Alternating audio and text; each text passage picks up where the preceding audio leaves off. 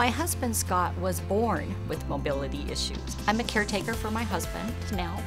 This morning was my first visit here to Mobility Plus, and I was quite pleasantly surprised at the size and their inventory that they have right here in stock and the variety of the inventory. Their repair people can also come to your home and do in-house service. Please come visit us at Mobility Plus in Green Valley. Ven y visítanos en Mobility Plus en Green Valley.